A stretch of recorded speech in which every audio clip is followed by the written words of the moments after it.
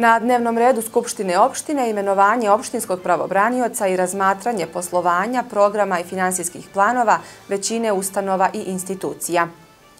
U prethodna 24 sata u Prijepolju koronavirus potvrđen kod 29 osoba.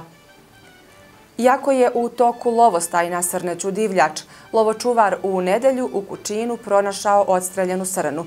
Slučaj je prijavljen policiji.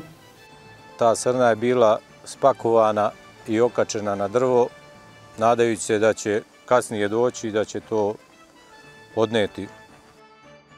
Samo 4% žena su direktorke i nalaze se u upravnim odborima, a čak 56% ima niža primanja u odnosu na kolege koje obavljaju isti posao, pokazuje istraživanje o faktorima koji doprinose efektu staklenog plafona za žene u biznisu. Članovi atletskog kluba Polet, Majd i Sanin Preljević branit će boje reprezentacije Srbije na Balkanskom juniorskom prvenstvu u Beogradu. U četvrtak mestimično sunčano sa maksimalnom temperaturom oko 10 stepeni. Ovo su vesti televizije Forum. Ja sam Daliborka Malešić.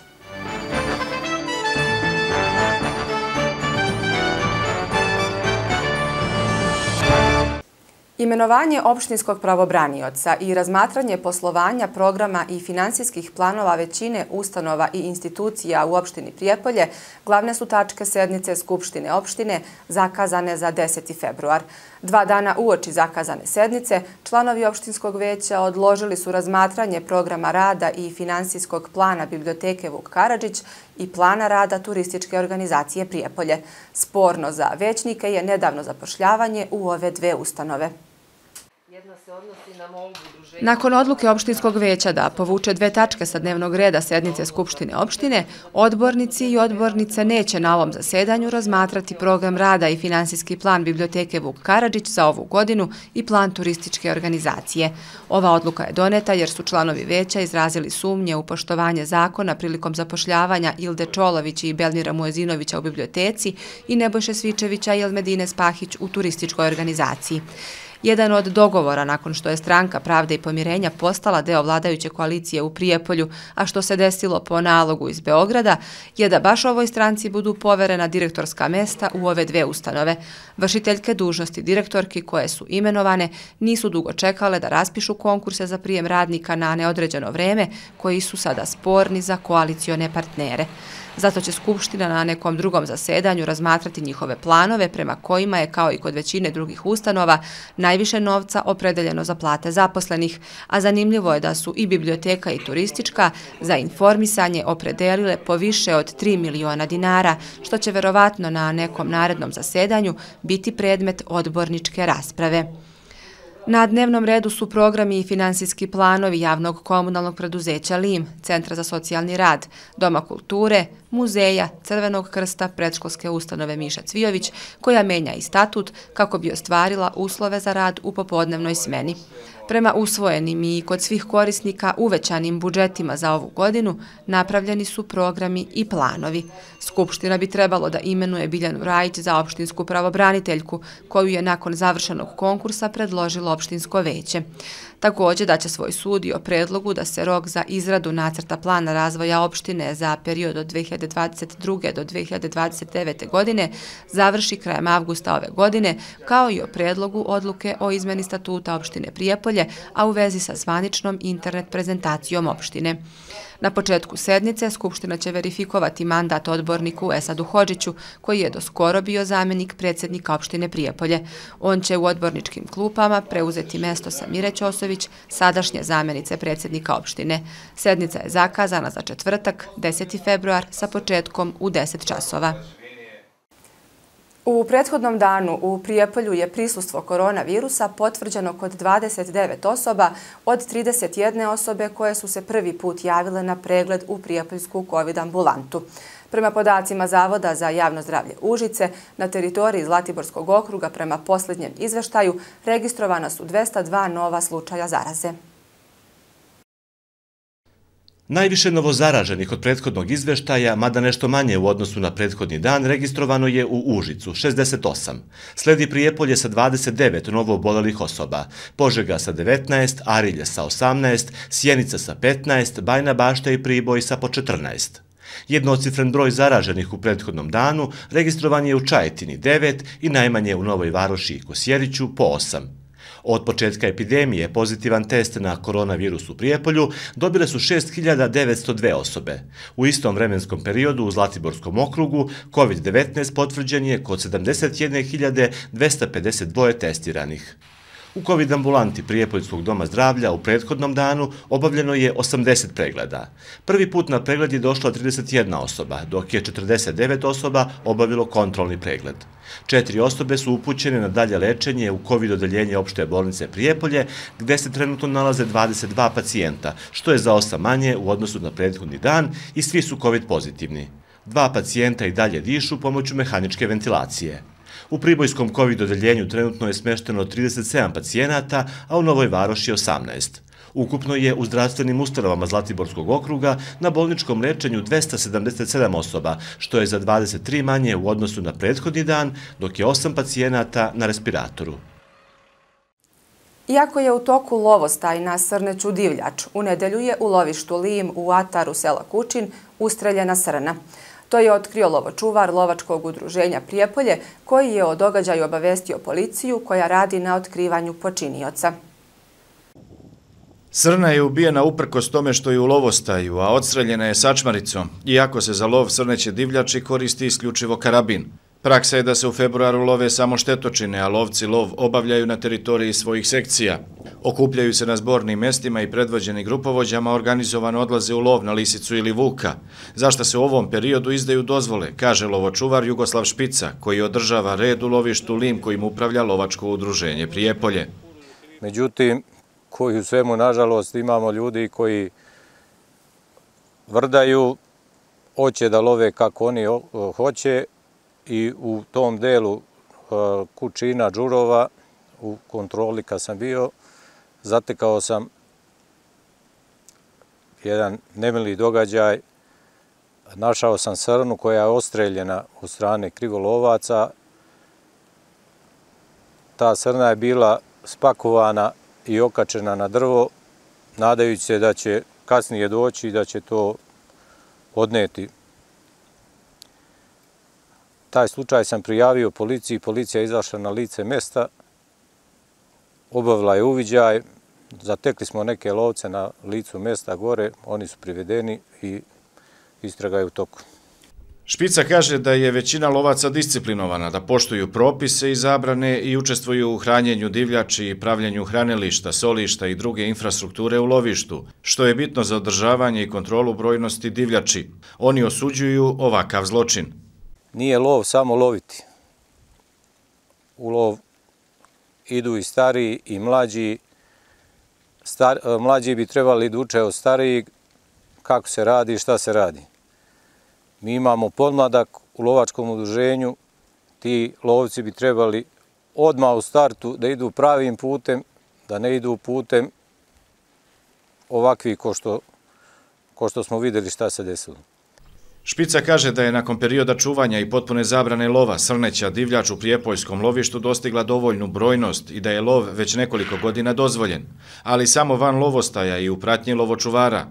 Zabranjeno je organizovanje grupnog lova na srneću divljač kao i korišćenje lovačkih pasa, već se odstreljuje sa čeke. Lovci mogu da uzmu dozvolu regularno kako treba da se ne bi dešavale vake stvari koje se dešavaju. Znači nema potrebe da se bave krivolovom, sve im je omogućeno i lov srneće divljači, lov štetočine, divlje svinje, zeca, znači sve se zna u kom se periodu šta lovi.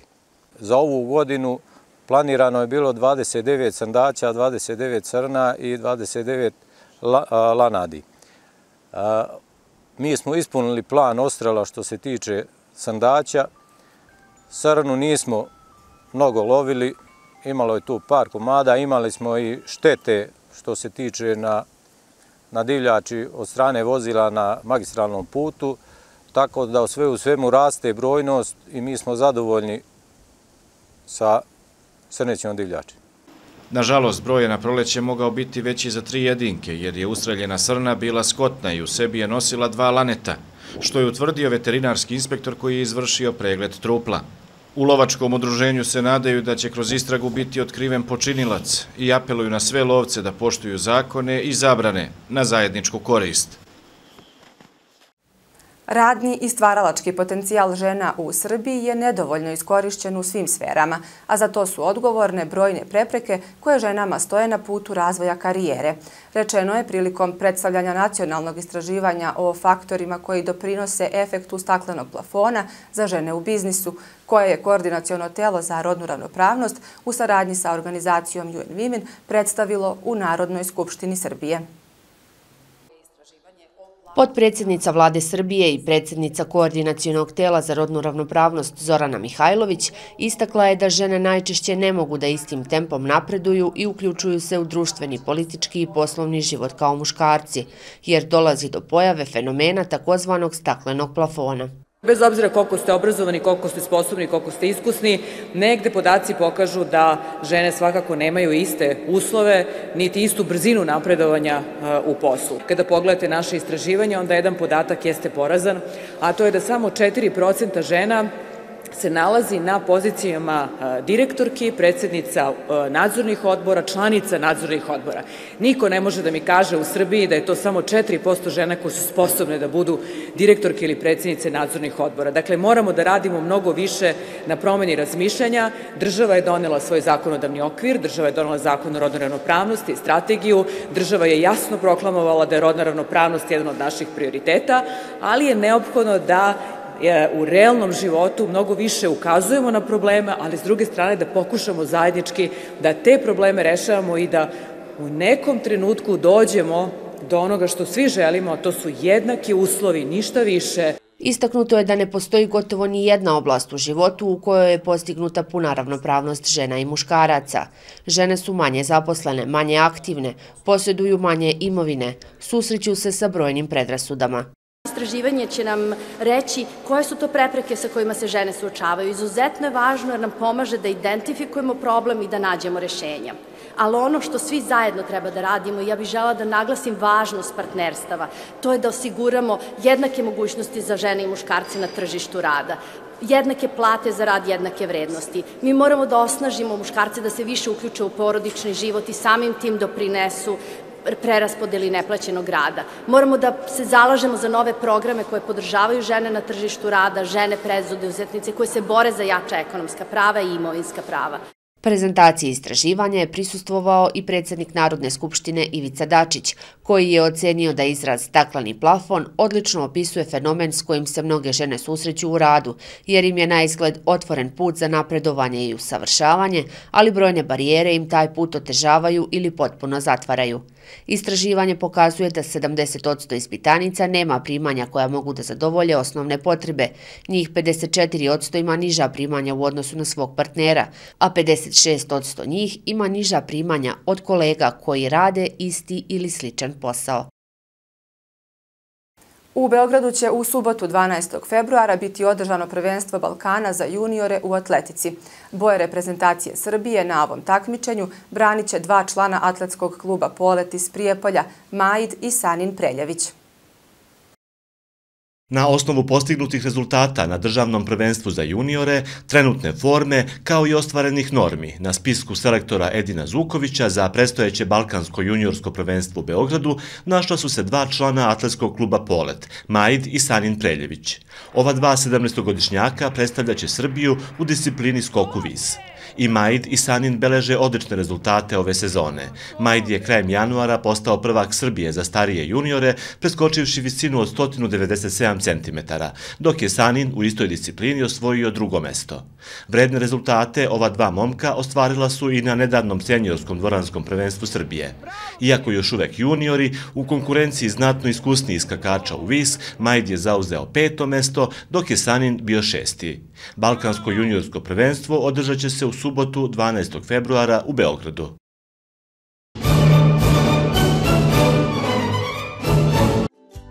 Ovog vikenda u Eskomercu Cekin sveže grill pile A klasa 289 dinara po kilogramu. Super ponuda plazma keks 300 grama plus plazma mlevena 300 grama 359. Persil deterđen za veš sa svežinom silana 3 kg 499.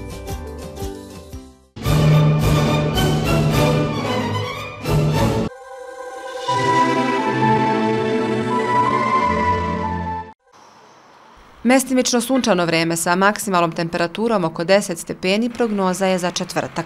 Sunčano i bez padavina meteorolozi najavljuju za petak. Za dane vikenda oblačno, u subotu i za nekoliko stepeni hladnije. U ponedeljak više sunčanih intervala i temperatura oko 10 stepeni u najtoplijem delu dana. Tokom cijele naredne sedmice, promjenljivo sa smenom sunčanih intervala i oblačnosti, uz jutarnje temperature oko nule i maksimalne dnevne oko 10 stepeni.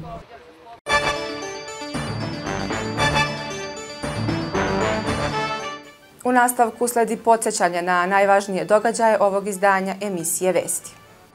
Na dnevnom redu Skupštine opštine imenovanje opštinskog pravobranioca i razmatranje poslovanja, programa i finansijskih planova većine ustanova i institucija. U prethodna 24 sata u Prijepolju koronavirus potvrđen kod 29 osoba.